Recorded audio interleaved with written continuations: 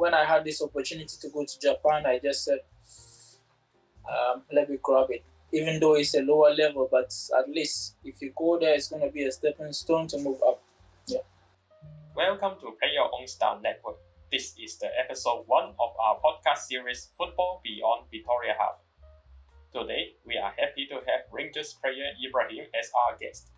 We'll be talking about his football journey from Ghana to Japan in today's episode. Hope you all will enjoy this amazing story. You were, Okay. according to the stats and history, you were, were representing Ghana under 23 or and then you went to Japan. So why did you decide to go to Japan and it's not the first division in Japan? Why did you agree to go there in the first place? Well, um, I would say it's the dream of every player to play outside his country, or especially in Europe, you know, or Asia, right? So, I was playing in a lower league in Ghana.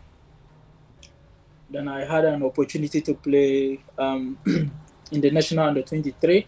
That's um, African Cup qualifications, qualifiers.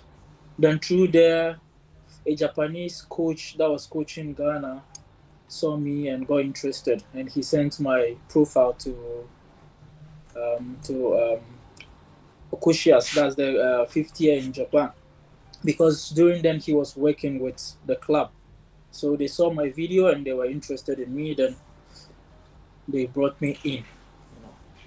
Yeah, so that's how I went. I, I went to Japan. Okay, so I imagine. actually- okay, I didn't have any opportunity to the top level clubs. Okay. This was the, the yeah, that was where I had the opportunity, so I, I had to grab it.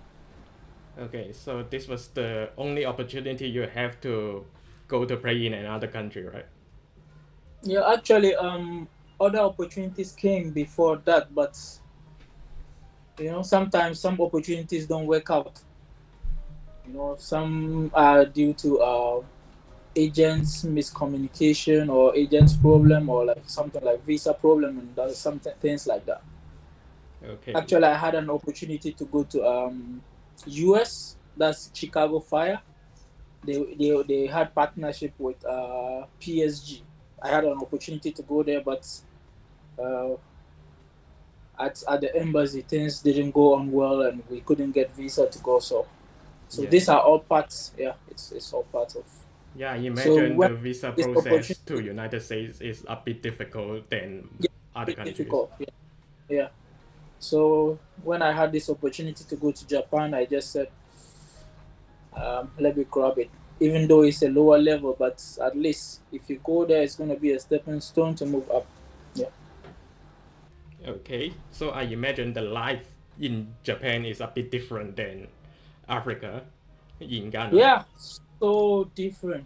Uh, Actually, when I first got to Japan, I think few months I was struggling because there was the weather different, food difference, communication like language, lifestyle, everything was so different, totally different. But you know, so if you are determined to, you know, that's the lifestyle of footballers. You are, you are supposed to psych your mind and fit into whatever situation you find yourself.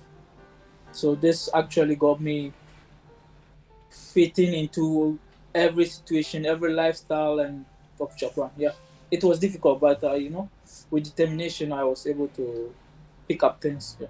Okay, so what do you think about the Japanese lifestyle, the culture there? Well, um, the culture is so simple. You know, everybody lives a simple life. Like everybody is focused on their work, after work, family, like that. So I think I like it. I like it, and it's it's kind it's kind of compared. It's kind of same here in Hong Kong. Yeah, I think. Do you feel shocked after you went to Japan how they live their lifestyle at first?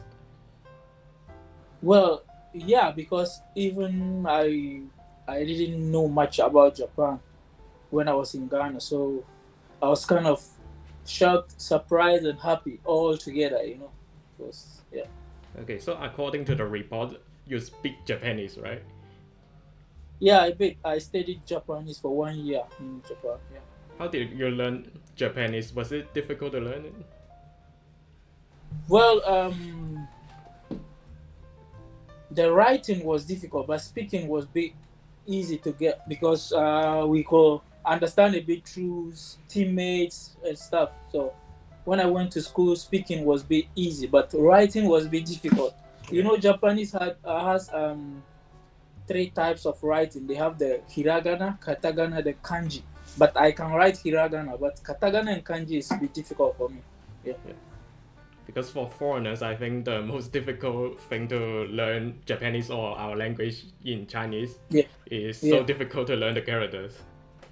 Well, especially the katakana and kanji is so difficult. I, I got so smooth with hiragana writing and stuff.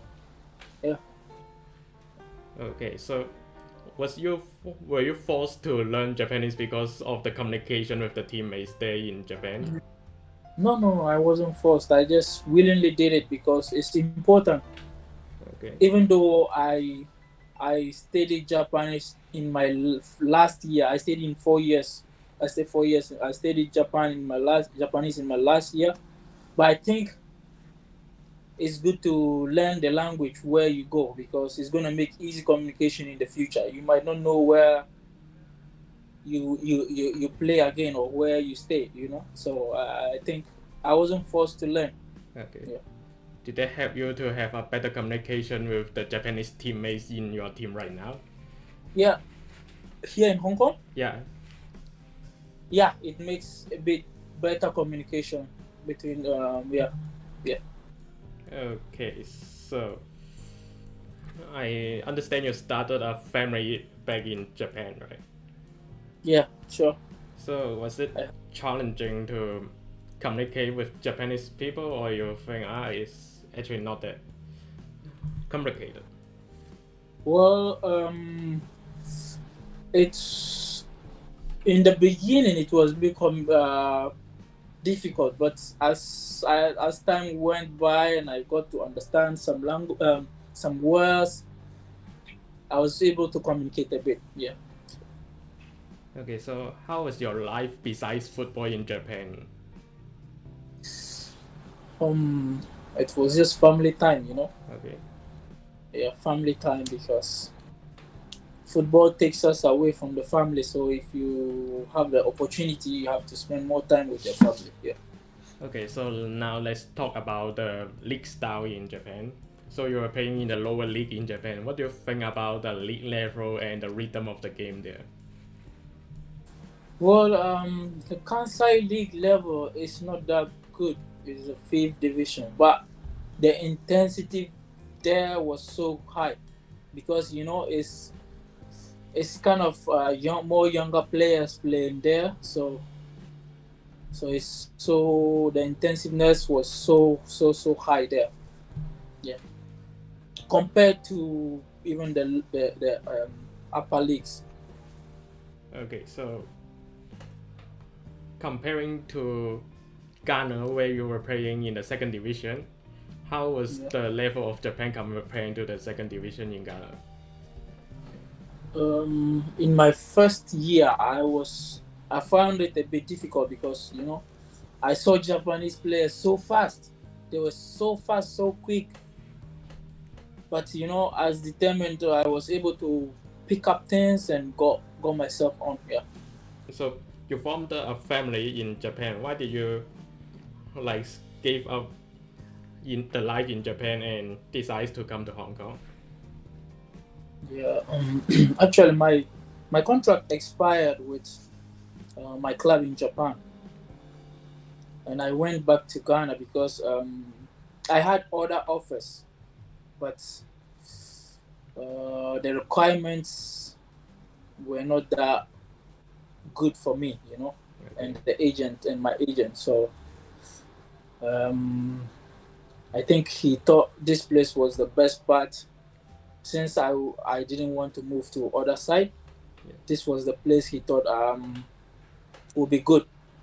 Kind of getting playing time, like getting good playing time and other stuff. Yeah. So